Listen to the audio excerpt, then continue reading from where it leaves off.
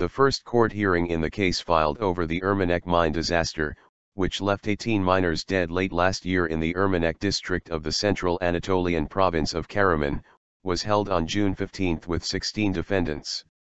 The Ermenek Court for Serious Crimes filed the case after the Ermenek Chief Public Prosecutor's Office made a 168-page indictment against 16 defendants.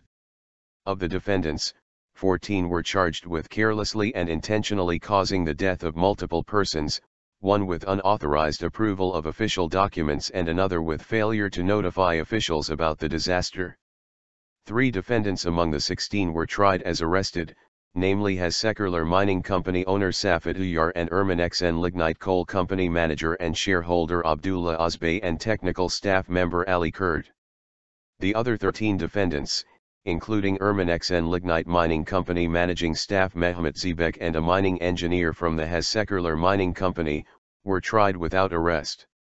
A total of 62 plaintiffs, including the families and colleagues of the fallen miners, were involved in the case.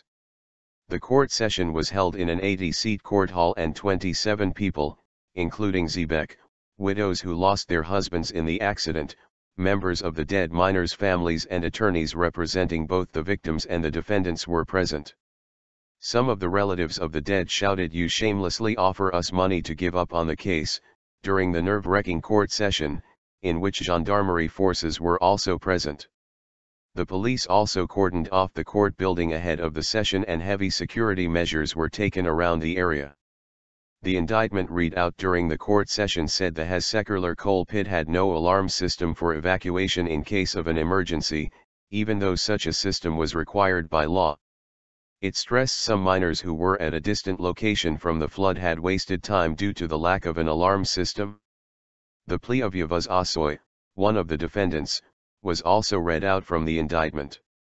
Asoy said in his testimony he saw water dropping from various points in the coal pit. The water was natural and drinkable. It had no smell.